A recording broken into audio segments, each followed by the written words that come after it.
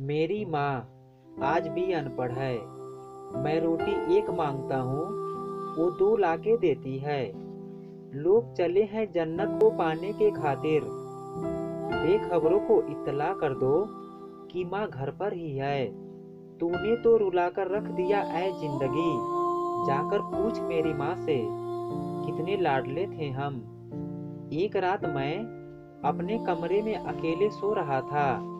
अचानक एक आहट से मेरी आँखें खुल गई। सामने फरिश्ते को देखा तो मैंने घबराकर पूछा, यहाँ कैसे? फरिश्ते ने कहा, तेरी माँ को लेने आया हूँ। मैं घबरा गया, दिल बैठ गया, आँखें नम हो गई। मैंने कहा, एक सौदा करते हैं। मुझे ले जाओ, पर मेरी माँ की ज़िंदगी बख्श दो। फरिश्ता मुस्कुराया और बोला, लेने तो मैं तुझे ही आया था, लेकिन तुझसे पहले तेरी माँ ने सौदा कर लिया। क्यों बोझ हो जाते हैं वो झुके हुए कंधे साहब, जिन पर चढ़कर तुम सारा जहाँ देखा करते थे?